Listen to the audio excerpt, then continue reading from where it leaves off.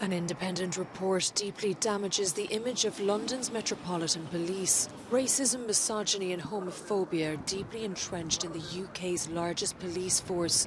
That's according to the review led by Louise Casey, commissioned in the wake of the abduction, rape, and murder of 33 year old Sarah Everard by a serving officer. I think the evidence is pretty clear that the Met over, over polices and under protects, for example, the black community if you look at the use of a stop and search, if you look at the use of force, it is disproportionately, disproportionately by a country mile done against black people rather mm. than white people.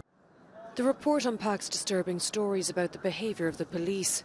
12% of female officers have been harassed or assaulted at work, but these actions are often covered up or minimised. Minorities are over surveilled on the streets and are not given sufficient protection.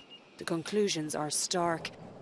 Half of the population distrust the Metropolitan Police, and if nothing changes, motions to disband or split up the force are likely to grow louder.